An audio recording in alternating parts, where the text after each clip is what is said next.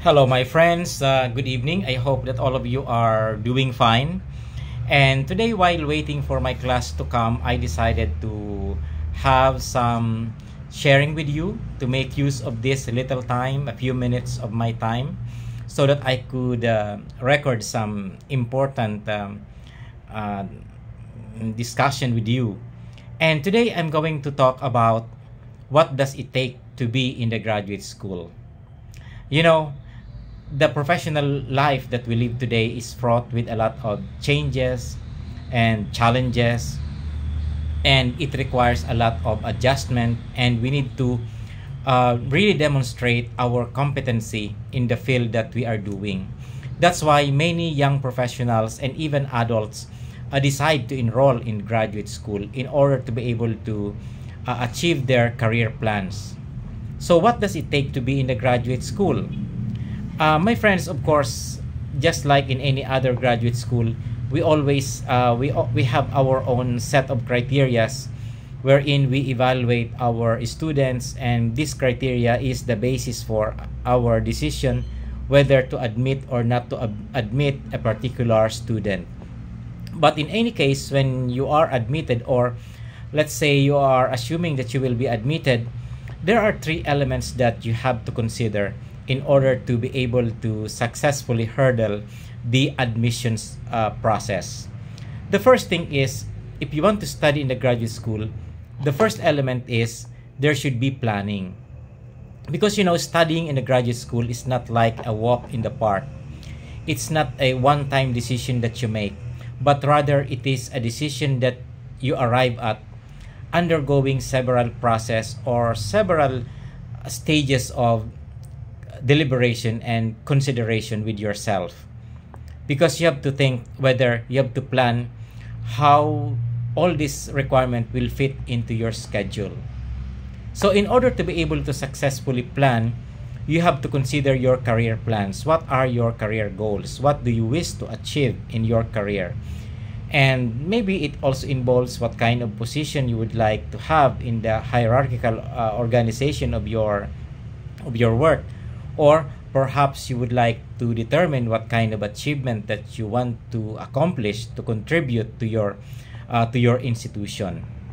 Then sec uh, also aside from planning um, including in this planning you also have to determine the competency uh, the competencies that you want to develop. Meaning you have to conduct self inventory what are the things that i have and how can i develop what I have, how can I expand my ability, and what are those things that I need that I need to acquire. These are the things that you need to do in planning to enroll in the graduate school.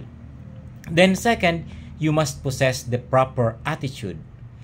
So when you enroll in the graduate school, remember that the foremost uh, characteristic that is, that will be um, demanded of you is your scholarship because when you are a scholar you must display a certain degree of diligence a certain degree also of character and truthfulness.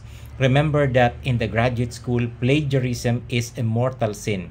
You should never commit that mortal sin because it can cost your entire career in the graduate school.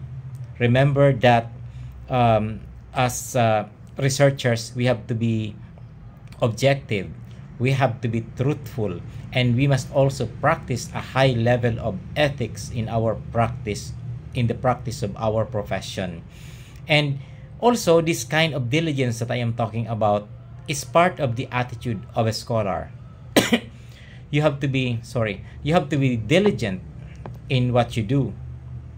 That's why you notice that when you enroll in the graduate school your professors will require you to write papers term papers you have to write your thesis and dissertation. They set uh, formats and standards. They check your grammar not only grammar but the formats and how you present your paper in a standard way. Because this is part of diligence. Because when you're a scholar you do not just write papers for the sake of writing and then submit it but rather you have to include everything. As they say you must include the devil in the details of your paper and everything should be uh, should be taken care of in the way you write your paper. It's not just for the sake of passing you know? You know in uh, sometimes in the undergraduate uh, students sometimes uh, some students would submit projects for the sake of submitting um, just to be able to beat the the time the deadlines. But in the graduate school it should not be. Rather we write papers we submit papers because we want it to be better. We want our papers to contribute to the body of knowledge where we are um, um, we are professing okay?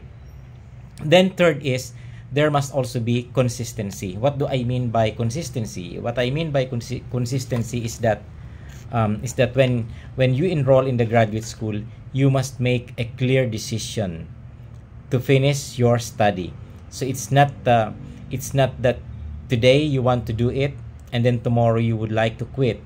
But rather when you enter when you enroll in the graduate school it must be that you have to finish uh, you have to start and to finish everything that you have started. And i think if you possess all this kind of attitude if you consider this all all of these elements in your in your plans to enroll in the graduate school i think uh, you will be successful in your endeavor. So thank you my friends and i hope that i was able to share with you some important thoughts. And please don't forget to to like and to subscribe also to my channel if you wish. So thank you my friends and good night